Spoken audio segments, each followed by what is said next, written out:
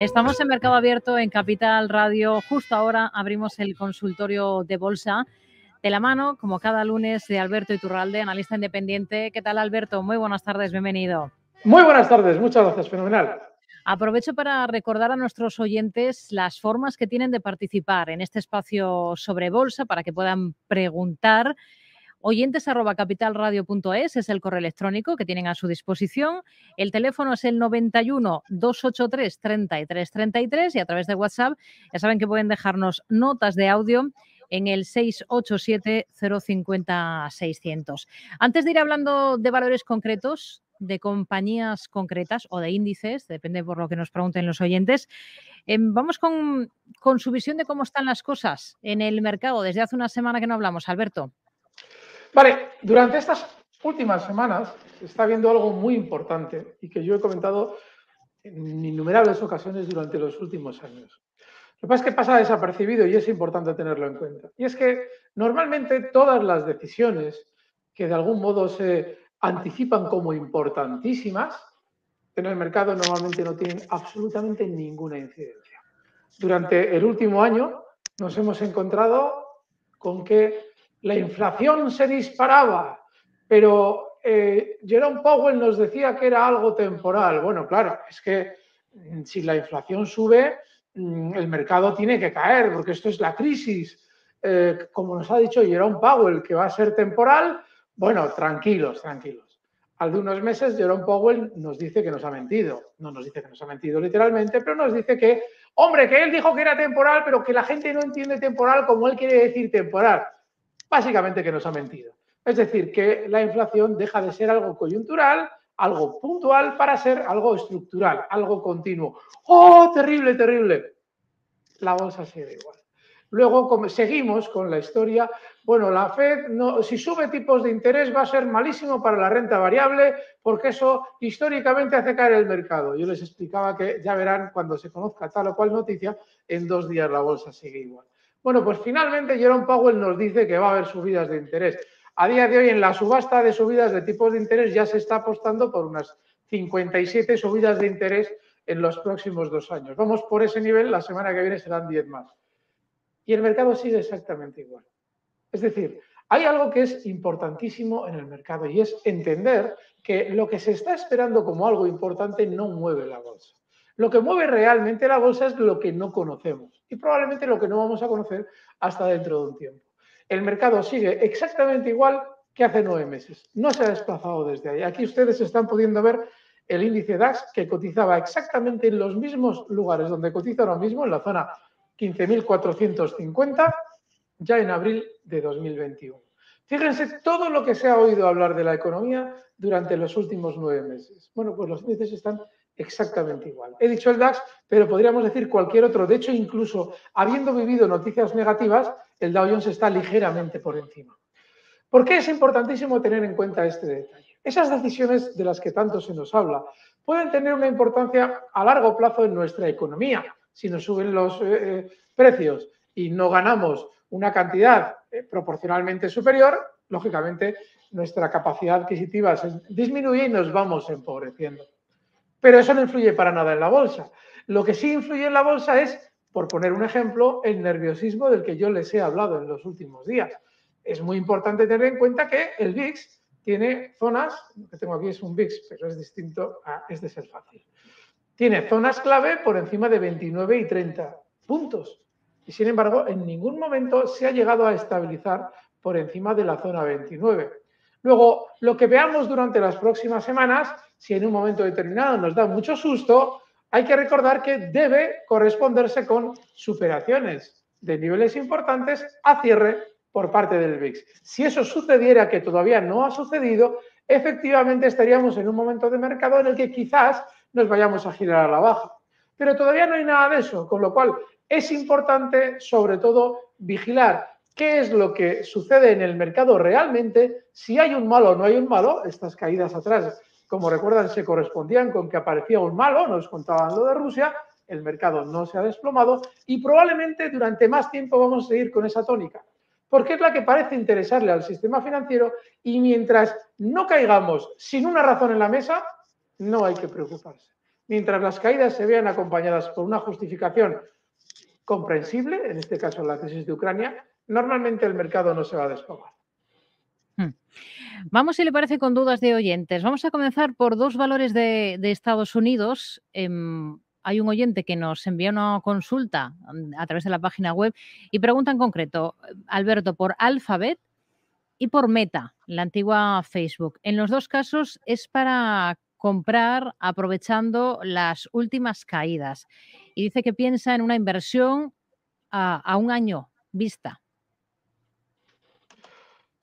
Es decir, que si el valor sube una barbaridad a un año vista, usted va a quedarse dentro y exponerse a que se gire a la baja. El valor se gira a la baja con usted dentro porque usted lo tenía pensado a un año vista. Y eso sí, hay de un año, eh, si ha recortado, yo vendo. He hecho el primo, literalmente, pero como mi planteamiento era a un año vista, obviamente voy a respetar mi planteamiento.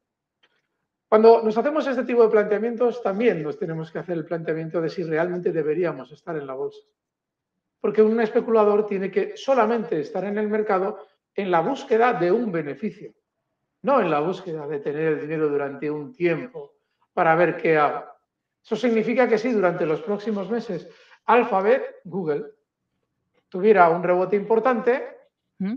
y viéramos que hay un gran sentimiento comprador en el mercado, si usted se queda dentro un año vista, se le va a quedar cara de bobo dentro de un año.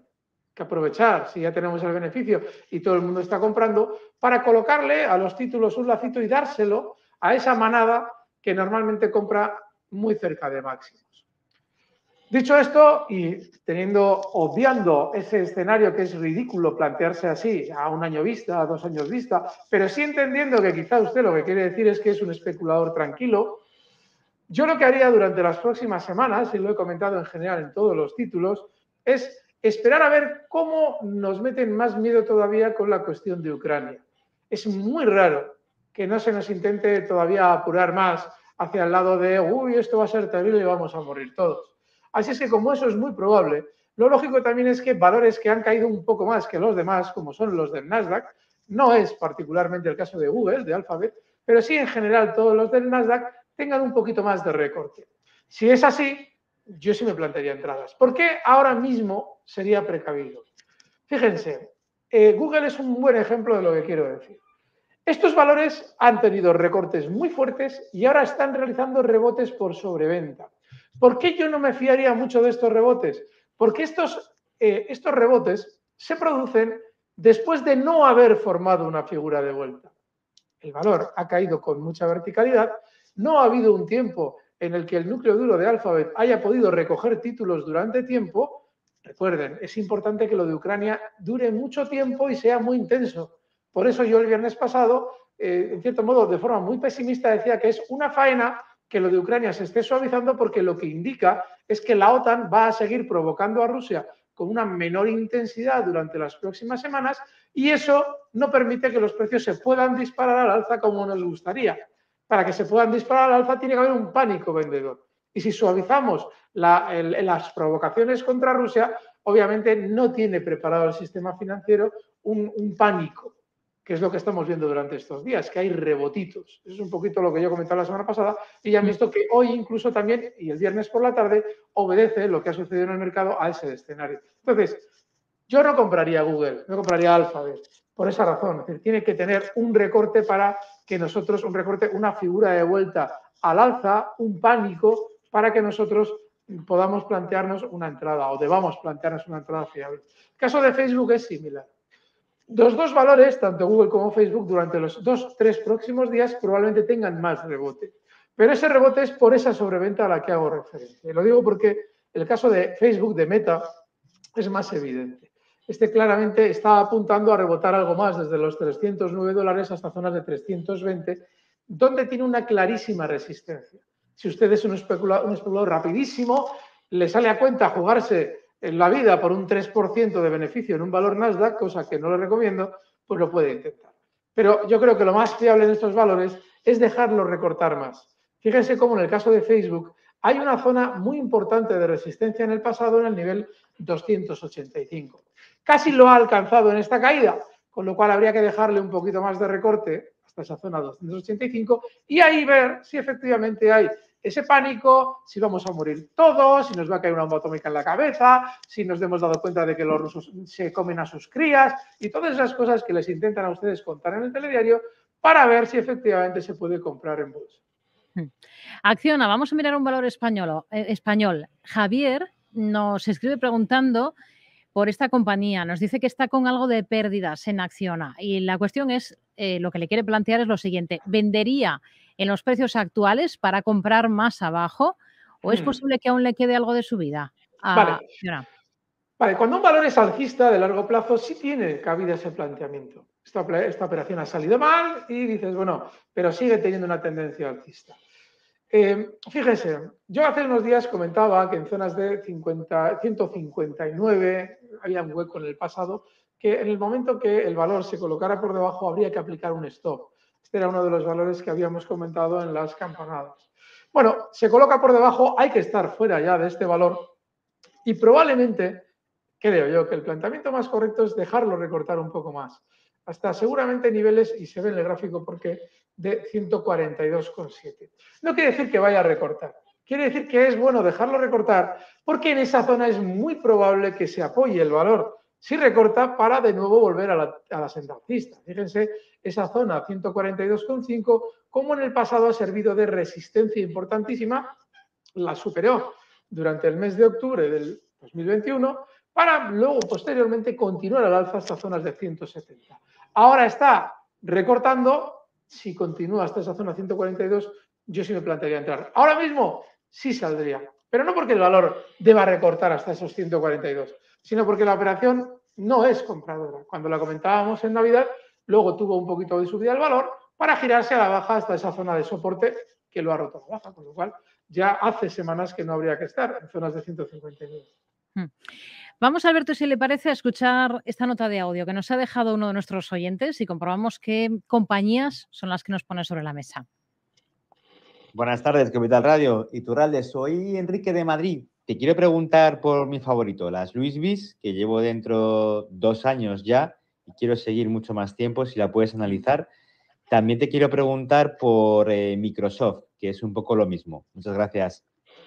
Sus valores favoritos, Louis Vuitton, Microsoft. No tiene nada que ver y voy a explicar por qué. Durante las últimas semanas, yo explicaba hace una semana, cuando nos planteaban de nuevo el Louis Vuitton, que, hombre, si el mercado en general necesita poco de pánico para subir con, soltura, hay que tener cuidado ya, porque podría subir sin más. Es decir, ya hemos tenido cierto susto con eso de Ucrania. antes de terminar el año pasado les explicaba que Diez días antes ya se notaba que querían hacer un maquillaje de fin de año, luego tenía que haber un recorte y aparecer el malo. Bueno, el malo ha aparecido, pero no ha aparecido con la cara de malo que necesitamos. Eso significa que probablemente, si lo que queremos ver es una subida estable en el mercado en general, hayan retardado la eh, presencia de nuevo de una situación crítica para mm, más adelante. Y eso implicaría que Louis Vuitton tuviera cierto recorte. Pero claro, cuando un valor es muy alcista, y eso también lo hemos explicado en muchas ocasiones, normalmente sus recortes son menos. Louis Vuitton durante estos días ha recortado mucho menos. Presentaba resultados espectaculares la semana pasada, ese mismo día en que los presentaba ya tenía cierto recorte, pero como ven, no ha sido nada del otro mundo. Así es que, bueno, el planteamiento que él se hace de largo plazo, dice que las tiene hace dos años, yo creo que se puede seguir estando sin problema. Pero quien quiera de algún modo especular mucho más cerca del mercado y andar comprando y vendiendo, yo creo que, sí le viene mejor el esperar a ese momento en el que nos metan un poquito más de miedo antes de entrar comprador. Pero no es el caso de nuestro oyente. Vamos a ver. A ver si aparece Microsoft. Sí. Vale, el caso de Microsoft es distinto porque este sí ha tenido recorte. Ha tenido recorte, lo ha hecho hasta donde debía. Si se mira el gráfico, aquí están todavía las, las líneas de, Facebook. Si se ve el gráfico, verán que allá por el mes de octubre de 2021 marcaba una zona de mínimos en niveles de 280. De ahí se dirigía a los máximos que ha marcado durante estos últimos meses en 340. Y en el recorte que hemos visto durante las últimas 3-4 semanas, ha vuelto a la baja hasta ese nivel, los 280. Ahí ha frenado Pero sucede algo muy similar de lo que hemos comentado, a lo que hemos comentado con eh, Alphabet y eh, Meta, con Facebook. Y es que en la caída, en el recorte de eh, Microsoft, no ha habido una figura de vuelta al alza que te diga a ti que aquí ha habido una gran recogida de títulos. Luego, si las tienes hace mucho tiempo y vemos que durante, tenemos ese sustito que hemos comentado antes, y posteriormente vemos que viene una época de nuevo de bonanza, todo es maravilloso, eh, creéis que iba a haber una gran nuclear, pero no, fíjate, casualidad, era mentira, que es lo que pasa siempre, pues ahí sí que yo me plantearía qué hacen estos valores, porque ya han tenido su exceso. Los valores Nasdaq han subido una barbaridad comparado con los demás. Para que se hagan una idea, Microsoft, que dentro de la tecnología tampoco es lo más volátil del mundo, ha tenido un 160% de subida. Con lo cual, si vemos que ya no supera los anteriores máximos con mucha autoridad, probablemente lo que se esté viendo ya es un, una zona, un, tiempo de distribución. Fíjense, esta semana, eh, lo tenía que haber dicho al principio, pero lo voy a decir ahora, y es aplicable a Microsoft y a todos los valores. Se ha empezado ya a mover por el mercado el rumor de que igual Sánchez convocaba elecciones para noviembre. Ojo porque ese dato es importantísimo. Vamos a ver si efectivamente es así. No sé cuándo en teoría nos debería anunciar esa buena nueva, pero si es así, hay que tener muy en cuenta cuándo es la fecha en la que se eh, convocan las elecciones, no la fecha en la que se dice, sino la fecha en la que se fijan las elecciones, porque probablemente esté previendo, si sucede eso, que durante los próximos dos o tres años vamos a tener un mercado muy bajista. A mí me parecía increíble que Sánchez tenga en cuenta la bolsa para hacer esto. Bueno, pues fíjense con qué eficacia acertaba yo en el mercado cuando Sánchez publicaba unas siguientes elecciones porque no había llegado a un acuerdo con Pepito Grillo, con este, el de Podemos, no me acuerdo cómo se llama. Entonces, eh, yo les sugiero que tengan eh, un poquito de atención a ese respecto porque si Sánchez publicara esas elecciones nos estaría chivando cuando el sistema financiero internacional quiere hacer un techo y eso influiría a Microsoft. Vamos con un índice, si le parece, con el S&P 500. Alberto, para responder a un oyente que nos pregunta si tiene sentido ponerse corto en el S&P 500 en zonas de 4.550 o considera que tiene más recorrido hasta cerca de máximos este indicador. Vale, aquí pasa algo muy parecido. El SP500, que tampoco tiene una figura de vuelta al alza en la zona de rebote, está marcando nuevos máximos dentro de ese rebote. Tiene pinta de todavía continuar más al alza durante los próximos días. Recuerden, aunque Facebook, Meta, no es un valor del SP500 eh, por sí mismo, es valor de Dow, no sé si está en Dow, creo que sí, pero sobre todo es un valor muy fuerte dentro del Nasdaq, pues lo lógico es que el mercado en general tenga ese rebote, un poquito más de rebote. Y el SP500 lo está marcando hasta zonas de pelín por debajo de los 4.600. Es decir, una zona un poquito superior a la que él nos decía. Él nos decía los 4.500 y la zona a la que apunta el SP500 ahora es 4.585. Ahí, si frena el SP500, sí te puedes plantear unos cortos. Yo te sugiero que esperes, a ver si frena. ¿Por qué? Podría pasar que una vez que ya hemos tenido al malo en la, en la mesa, pues igual no necesite el sistema financiero otro momento de susto. Igual puede subir si quiere. Así es que como eso no lo sabemos, una posición corta que iría en contra del planteamiento de una nueva, un nuevo recorte para dar más miedo, te dejaría en fuera de juego. De manera que yo lo que te sugiero es que esperes a ver esa zona 4.585, eh, si se va frenando el SP, y ahí sí te puedes plantear los cortos. Siguiente consulta, escuchamos el mensaje que nos ha dejado este otro oyente, Alberto. Muy buenos días para todo el equipo de Capital Radio. Mi pregunta es para Alberto Iturralde y sería cómo vería continuar en JP Morgan Chase. El cotiza en Nueva York, el ticker es JP de Pamplona M de Madrid. Eh, estoy actualmente con unas ligeras pérdidas del 5% aproximadamente y Mm, sería para mantenerlas a medio largo plazo. Y otro eh, es cómo vería una entrada actualmente en L'Oreal, también para medio largo plazo. Muchas gracias. Nada, muchas gracias a usted. Eh, JP, fíjense, eh, JP tiene una figura, un desplazamiento bastante similar en los últimos meses al que ha realizado el Dow Jones. No es tan fuerte al alza como el del Dow Jones, pero en los últimos meses el movimiento lateral tiene una forma muy parecida. Si tenemos en cuenta qué es lo que ha pasado en JP, luego les voy a abrir el Dow Jones para que vean eh, la diferencia, se observa que efectivamente ha tentado a la baja eh, el nivel 146,65, que es el que se corresponde con los mínimos de ese movimiento lateral, ahora está en 147,46, ligeramente por encima, un dólar. Pero el rebote que está teniendo es muy, muy, muy discreto. JP, ¿eh? muy, muy discreto. Ahora vamos a ver el Dow Jones. El Dow Jones sí que aquí va a aparecer el gráfico. Verán cómo efectivamente, si se fijan, también tiene una figura relativamente similar. Aquí se ve. Ha tenido esas zonas de mínimos, pero en el rebote el Dow Jones está marcando nuevos máximos de esa especie de rebote que ha dado lugar después de la caída de Ucrania. Luego, lo que te está queriendo decir es que si el Dow Jones está muy lejos del soporte que en teoría ha tentado durante estos días y JP Morgan está todavía sin levantar especialmente cabeza, pues sí, lo normal es que tenga un cierto rebote durante estos días, pero que sea mucho menor. Esa es la clave. Con lo cual, yo ahí sí me replantearía si seguir dentro de JP Morgan. Porque lo que te está queriendo decir es que te expones, y es muy probable que durante las próximas semanas JP Morgan funcione peor que el principal de su mercado, que es el Dow es decir, el principal índice de su mercado, del mercado americano. Así es que yo ya no estaría. Pero hombre, no es que se haya roto la vajilla, lo que quiere decir es que ha cambiado su forma de funcionar. Nos hablaba también de L'Oreal, en este caso era para entrar, se lo planteaba para tomar posiciones. Hoy ha cerrado en 376,85 euros, ha rebotado un 2,38%. Alberto. Bueno, L'Oreal ha realizado un recorte, un recorte muy estándar durante los próximos, durante los últimos eh, semanas. De hecho, ni siquiera ha sido eh, tan prolongado como lo suele hacer cuando recorta con fuerza, que es la caída del coronavirus.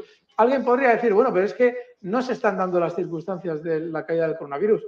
Fíjense, no se están dando, pero porcentualmente, cuando se produce la caída del COVID, L'Oreal ha recortado hasta un 29,35%. En esta última caída ha sido, aunque cuantitativamente es igual o muy parecida a la caída, proporcionalmente es prácticamente la mitad. Estamos hablando del 16%. Yo siempre les he explicado que eh, hay ciertas simetrías en los movimientos que realizan los valores contra la tendencia alcista principal. Cuando un valor está alcista y recorta, a veces lo hace con la misma magnitud que lo había hecho en el pasado. Eso tiene una anomalía enorme, porque alguien podría decir, bueno, pero es lógico. No, porque si estamos hablando de que ahora una caída igual que la del coronavirus sería aproximadamente de un 18%, un 19%, cuando se produce durante el coronavirus, era del 29%. Y sin embargo, L'Oreal aparenta, como mucho, querer hacer esa caída. Es decir, no caer mucho más allá de la misma cantidad que lo hizo durante el coronavirus. Eso llevaría a L'Oreal como muy abajo, hasta zonas de 355, 354, que, o casualidad, es una zona de soporte importante. ¿Por qué cuento yo todo esto? Porque un especulador de largo plazo sí se puede plantear una entrada en L'Oreal con ese stop en 354. Ahora cotiza L'Oreal en 376 para una, entrada tranquila, no es un stop especialmente amplio y bueno, pues sí, con una pequeña parte del capital para que no nos maree y con un objetivo por ahora en máximos, zonas de 435.